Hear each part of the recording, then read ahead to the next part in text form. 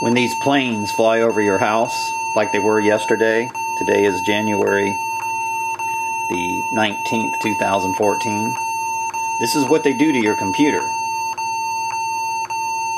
So, yesterday I had planes flying over all day, and now my computer is broken. So, all I did was turn it on.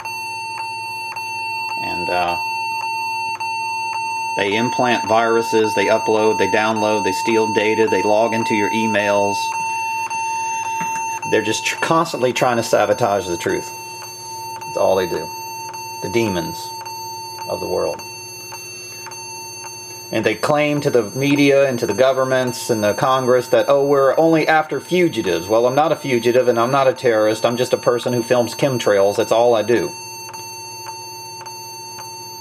I speak the truth. I speak about the Bible. And that, my friend, is the enemy of the Vatican, the Rothschild, and the Rockefeller dynasty that control the world. But not for long. They're going down and they know it, and they're leashing their last effort to survive. Goodbye, because God's coming for you. His judgment and His wrath is a pit of fire, my friend. Eternal death. You will no longer live in the flesh and celebrate your flesh.